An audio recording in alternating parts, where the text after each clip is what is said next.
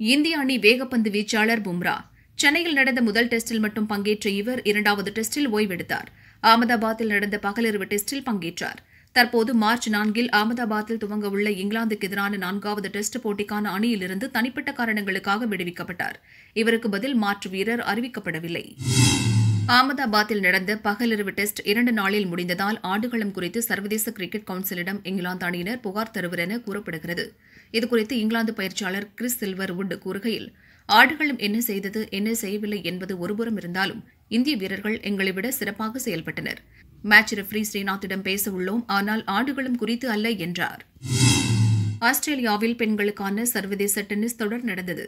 இதன் ஒற்றையர் பிரிவு ஃபைனலில் போலந்தின் இகாஸ் வியாடெக் சுவிட்சர்லாந்தின் பெலிண்டா பென்சிக்கை ஆறுக்கு இரண்டு ஆறுக்கு இரண்டு என்ற நேர்சிற் கணக்கில் வீழ்த்தி சாம்பியன் பட்டத்தை தட்டிச் சென்றார். வெஸ்ட் இண்டீஸ் செல்ல உள்ள இலங்கை அணி மூன்று டுவெண்டி டுவெண்டி போட்டிகள் கொண்ட தொடர்களில் பங்கேற்கிறது. மார்ச் நான்கு ஆறு எட்டில் நடக்கவுள்ள இப்போட்டிக்கான வெண்டிஸ் அணியில் top order batsman Chris Gayle இடம் பிடித்துள்ளார்.